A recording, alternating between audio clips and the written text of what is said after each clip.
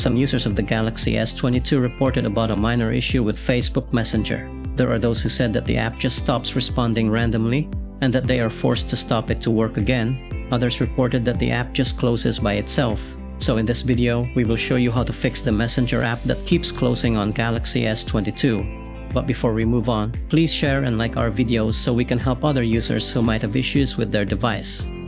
Going back to our topic, here are the things you should do. First solution, restart Messenger. If the app just stops responding for some reason, of course you have to force stop it instead of waiting when it will respond again, but doing this procedure will often fix the problem because you're reloading the services necessary to make the app run properly. To do that, tap the recent key to view the apps you recently used. Find Messenger and swipe up on its preview to close it. After that, launch the app again to see if the problem is fixed. In most cases, this procedure is enough to fix an app problem. However, if it continues, then move on to the next solution. Second solution, reboot your phone. It is also possible that there are currently some issues with your phone's firmware that affect the performance of the apps you're using. So after doing the first solution and Messenger is still not working, what you need to do next is to reboot your phone itself. Doing so will refresh the memory of your device as well as reload all the core services that are necessary to make it work perfectly.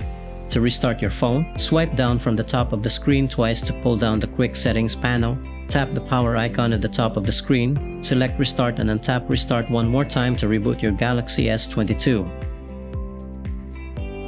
After the reboot, launch the messenger again to know if it is still acting up because if so, then move on to the next solution. Third solution, check the server. One of the reasons why apps sometimes just close by themselves is when they have issues with their respective servers. That's why it's important that you take a little time checking the server to know if that's really the case. You can do that by logging on to downdetector.com using a web browser. Search for Messenger and once the result is shown, select it.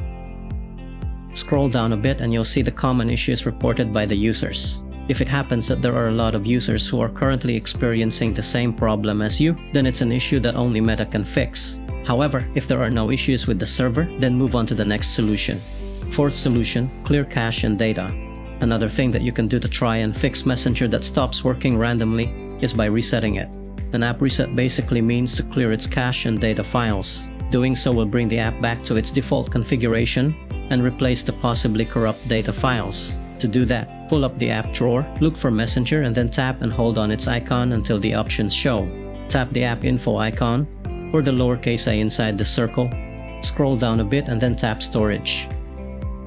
Tap Clear Cache at the bottom of the screen. This will immediately delete the app's cache. Now tap Clear Data and select OK to delete its data files. After doing that, launch Messenger again and then log into your account.